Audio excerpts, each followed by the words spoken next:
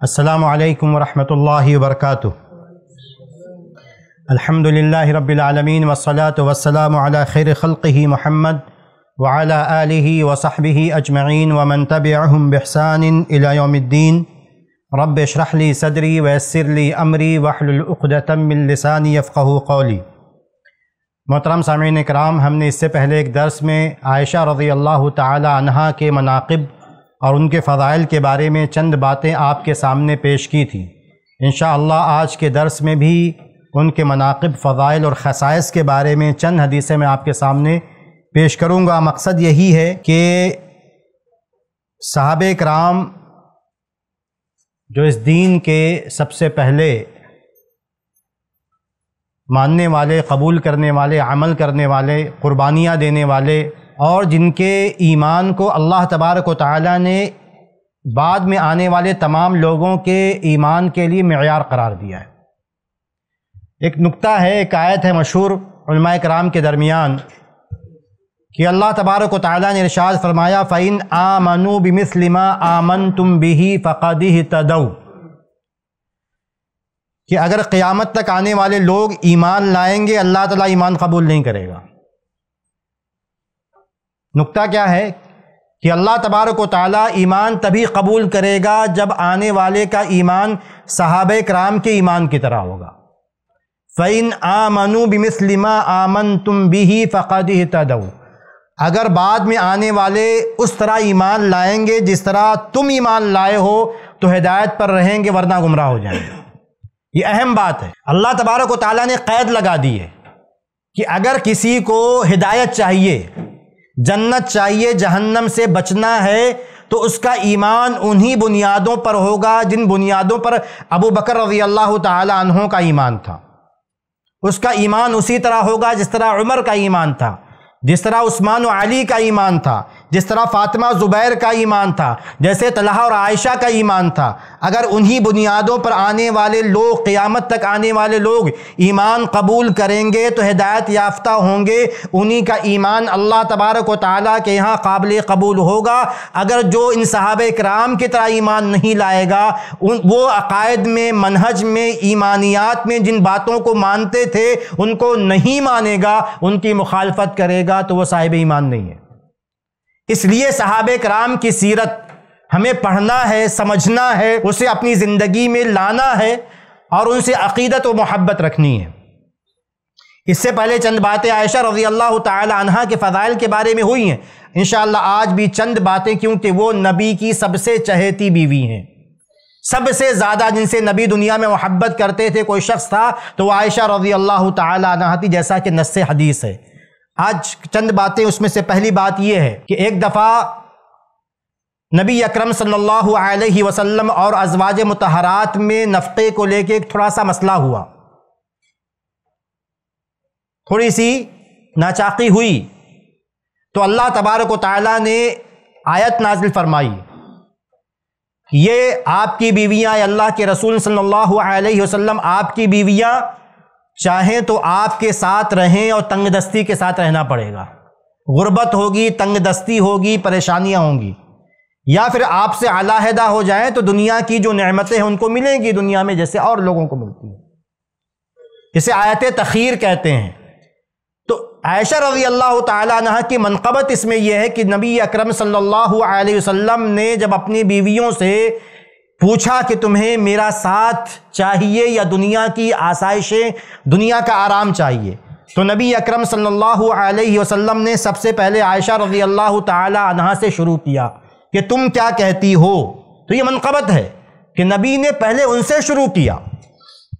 और बीवियों के सामने बात नहीं रखी, बल्कि आयशा रज़ी अल्लाह तहा के सामने बात रखी। उसके बाद आयशा रज़ी अल्लाह तहा ने जो जवाब दिया है, वो भी एक मनकबत। है आयशा रज़ी अल्लाह तहा ने जवाब दिया, जो ईमान वाला जवाब देता। ख़त नज़र की उससे रिश्ता, नबी से रिश्ता क्या था? लेकिन ईमान वाला जो जवाब देता, उन्होंने फरमाया कि क्या मैं इस मामले में अपने वालदेन से मशवरा करूँगी? नबी ने कहा कि वालदेन से मशवरा कर लो। आयशा रज़ी अल्लाह तहा ने कहा कि क्या मैं इस मामले में अपने वालदेन से मशवरा करूँगी?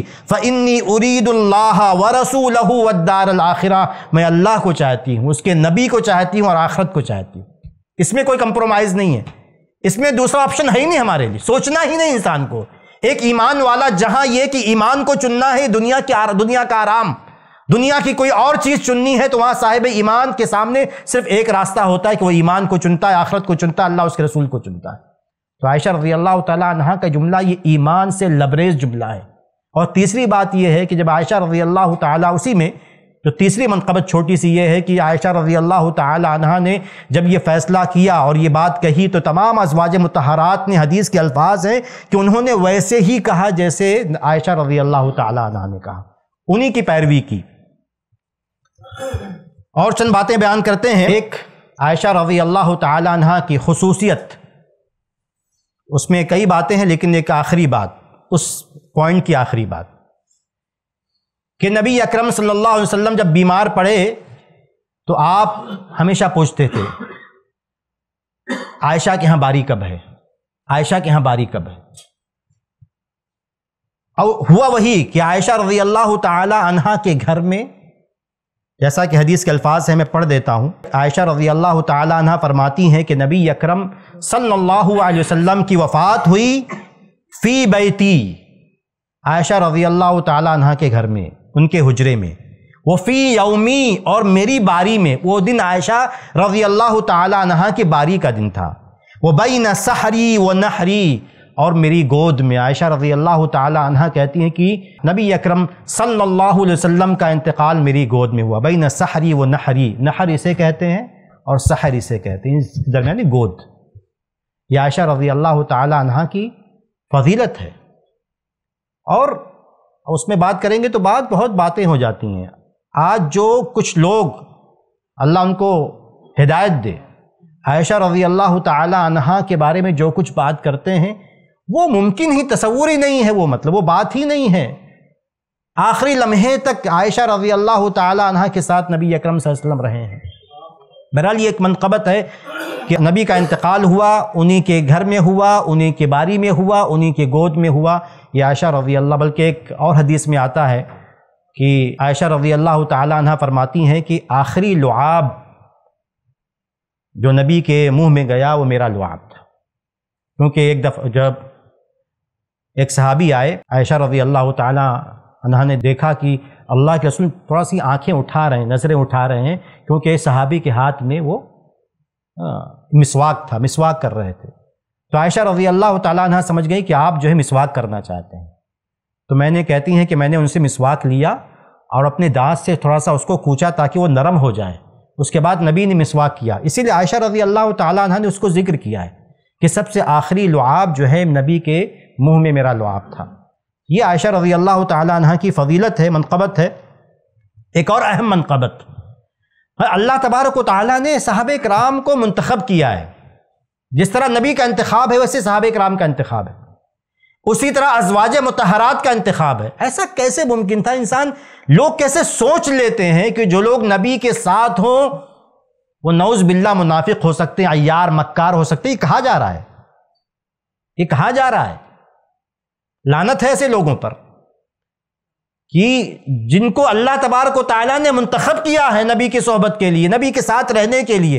एक आम आदमी के साथ कौन लोग रहते हैं, किस किस्म के लोग रहते हैं, आदमी उसके अतबार से इंसान की शख्सियत का फैसला करता नबी की शख्सियत, नबी का मुकाम।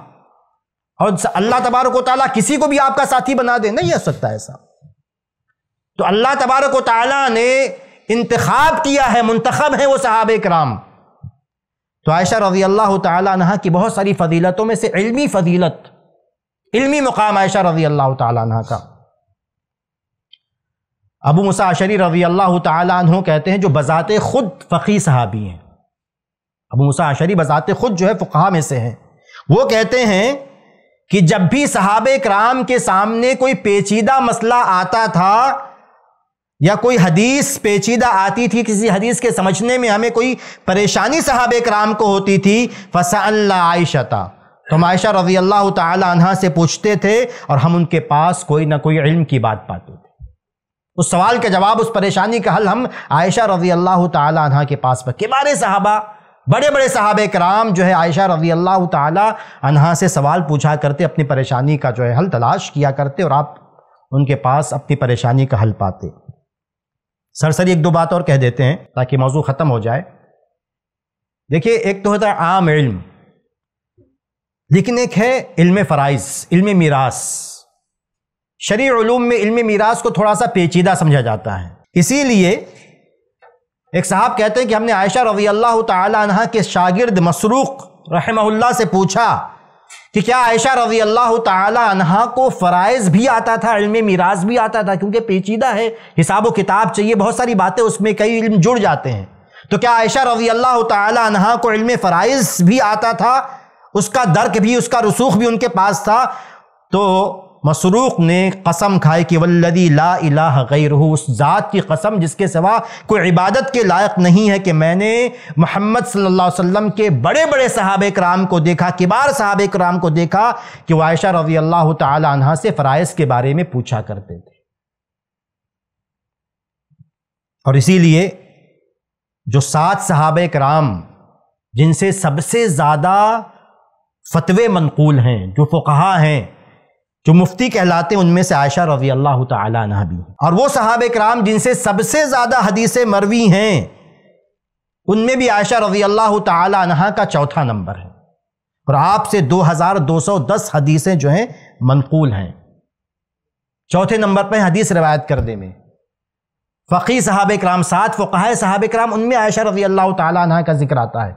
इसीलिए अपने हजर रहम फरमाते हैं, आखिरी बात कि अपने हजर रहम फरमाते हैं फ़तहुलबारी में कि यह कहा गया है कि शरीयत के एक चौथाई अहकाम आयशा रज़ी अल्लाह तहा से मरवी है। वन फोर्थ शरीयत के अहकाम आयशा रज़ी अल्लाह तहा से मरवी हैं। ये आयशा रज़ी अल्लाह तहा हैं, हमारी माँ उम्मुलमोमिनीन है, नबी की चहती बीवी हैं, जिनसे मोहब्बत हमारे ईमान का हिस्सा है। और उनसे नफ़रत करने वाला मुनाफिक है। जिसके दिल में ईमान होगा वह आयशा रज़ी अल्लाह तहा से नफ़रत नहीं कर सकता। वायशा रज़ी अल्लाह तहा के बारे में अपनी ज़बान दराज नहीं कर सकता, उन पर तानो तशनी नहीं कर सकता। जो ऐसा करता है, वो साहिब ईमान नहीं है। अल्लाह ताला से दुआ है कि अल्लाह तबारक व ताली हमें साहब कराम से मोहब्बत की नमत अता फरमा। आमीन वसलाम वरहमल वर्क ऐसे ही फ़ायदेमंद इस्लामिक वीडियोस देखने और मनहज सलफ़ पर किताब सुन्नत की तालीमत को आम करने में हमारा ताउन करें ताकि आपके लिए ज़रिया नजात, जन्नत के हसूल का सबब, साथ ही माल में बरकत व इजाफे का ज़रिया भी बने। आमीन। जजाक अल्लाह खैरन।